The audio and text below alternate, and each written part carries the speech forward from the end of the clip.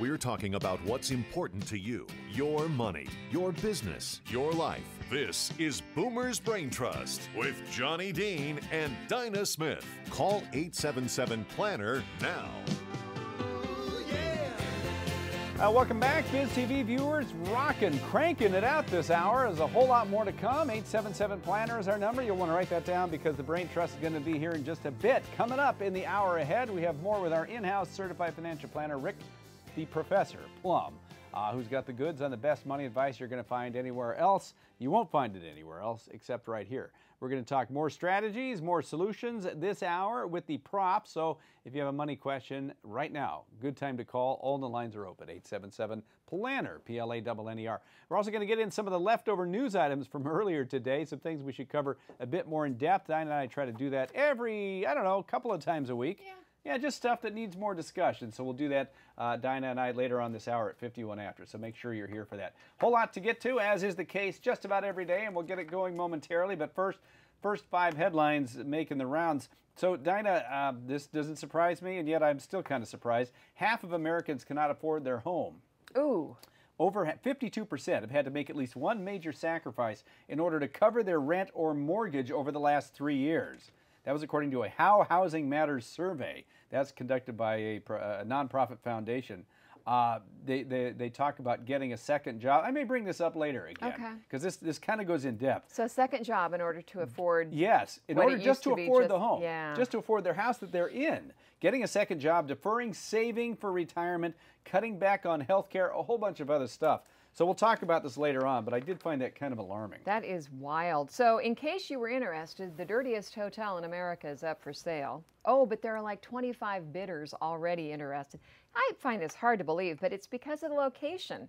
Uh, it's right in the middle of New York City, right in the middle of Times Square on West 43rd Street. It's the uh, Hotel Carter, which I think opened in the 30s. It was um, Probably did. What's funny, it was the Hotel Dixie then, but this thing has been home to murders, to uh, Mm-hmm. safety violations, health code violations, uh, but they're still expecting to get about 180 million for this thing.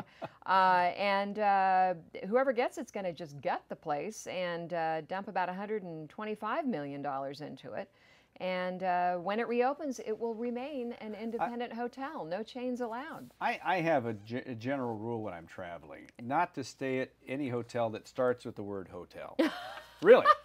I mean, you know, Hotel Roosevelt, you know, Hotel Dixie, Hotel Dixie. Carter, Hotel, you know, Nixon. I, uh, I, you know, I don't know. It Remember just- the, the Hot L Baltimore? Hot L Baltimore from the 19. Boy, that was a dirty show. Is that out of Britain? No, no, no. Well, it may have begun in Britain, but I know they, they resettled it. You know, it was it was. Oh, it was- okay. it- all they made it for American yeah. audience. Hot L Baltimore. The Hot You- L they had to have warnings and everything in Yeah. front of that thing. Yeah. Yep. Good call, Dinah. Hey, hey. Uh, well, get this. Uh, once again, for boomers, marijuana infused coffee. They're claiming to give you a real morning buzz. Have you seen this? What's Maybe in your not. cup over there? There's absolutely nothing in this Uh-huh. cup, but uh, it's a prop. the uh, Washington State based Mirth Provisions plans to release a cannabis infused cold brew coffee called Legal. Only available in markets where, you know, cannabis is legal oh which might be half the states. Uh, each bottle is going to contain about 20 milligrams of THC. Woohoo! The tetrahydrocannabinol, my friend. That's enough to create an alert creative high. Oh my god. That's gosh. what they say. That's what they said. Their website says this, but not too much as to make it an unpleasant experience. That's especially for people that are just getting into marijuana. This is right off their website. Just getting into marijuana. Yes. They so call their it's a coffee- gateway beverage. That's what it- it's exactly what it is. It's going to lead to espresso. You never know. Eh, they, this is this is going to quote mighty. It's their coffee is mighty refreshing, poured over ice or just sipped straight from the bottle. Knock one back with your compadres, and take on the day with a smooth buzz and a grin a mile wide. Oh my gosh. Can you imagine that? No. Uh, that's what it is. You have your, uh, uh, uh, hey, listen, uh, maybe I'll save this for later. Maybe the radio people want to hear about this. Yeah. That's funny. Oh, by the way, an 11 and a half, 11 and a half ounce bottle retails between $9 and $11. Whoa. Does that seem expensive? Because I don't know coffee, but is that? I don't know cannabis, so well, I don't know. I don't know. All right, anyway. Okay, just checking. Uh, Professor Plum will be here in a moment. Uh, get your calls in 877 Planner. We're coming right back.